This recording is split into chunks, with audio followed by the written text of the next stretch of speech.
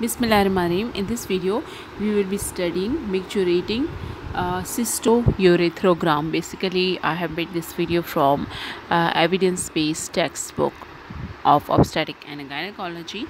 And micturating cystourethrogram is a very important uh, scan. Okay, this is basically a scan that shows how the bladder works. Okay, and um, this cystourethrogram this type of the scan um, is used to diagnose why a person is having certain urinary tract abnormalities. Also the uh, urinary tract infections are diagnosed by using this scan. Okay so it's a type of a scan it's a type of the x-ray as well okay. And it's very important that uh, this investigation requires installation of specific medium. Installation of radio opaque dye. Radio opaque contrast medium or a specific material into the bladder. Okay? And that is very helpful in making the proper imaging. And then we do screening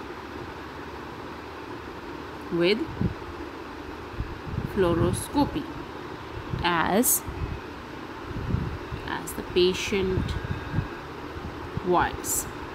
Okay?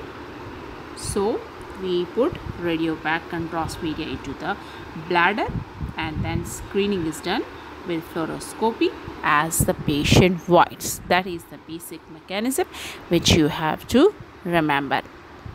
Okay? Basically uh, catheter is, is inserted into the bladder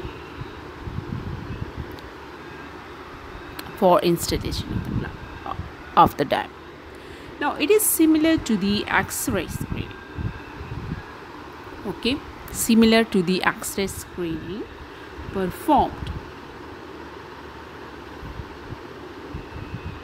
as a part of video cystometry. Video cystometry is also a specific procedure, specific graphic procedure. It is similar to the X-ray screening performed in video cystometry but without any pressure flow information. Okay? In video cystometry there is pressure flow information but not in this one.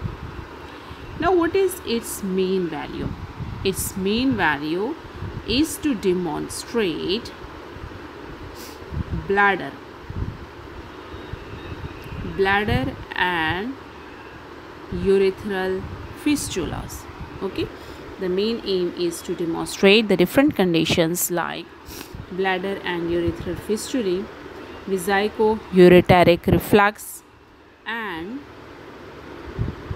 anatomical abnormalities okay? Of the lower urinary tracts